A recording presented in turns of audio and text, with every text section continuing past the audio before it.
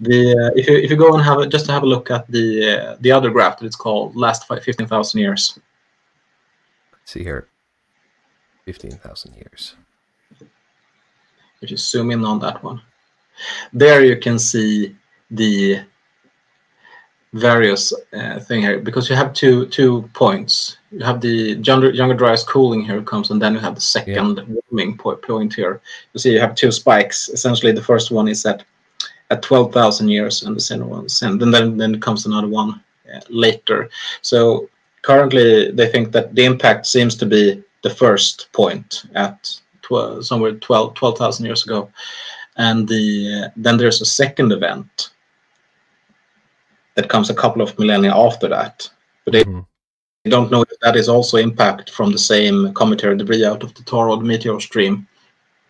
Uh, okay. That's also kind of a, to, to, to explain. The Tauroid meteor stream is called as that because it seems when you when you look at it from Earth, uh, it seems to come out of the uh, the star sign Taurus. So therefore, the toroids. Uh, but it's actually a giant comet field, uh, or rather the, the debris field of a giant comet that orbits the sun, and Earth passes through it. I think it's in in August. No, it's in early June and in late November, early December, so twice a year.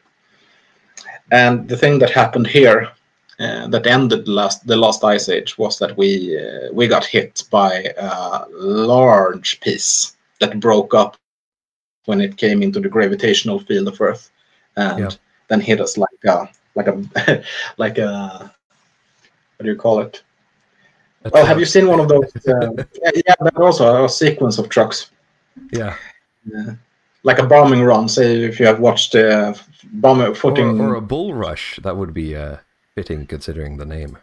Yeah, that's also why you see from in the other area where the ejecta is and why it is narrower. The field is narrower in mm. uh, one end of the of the field and then wider as it comes out of the Americas. Right. So that's essentially where you have the the impact uh, form format. Uh-huh. Uh, so how does this tie to the ideas of Hyperborea then?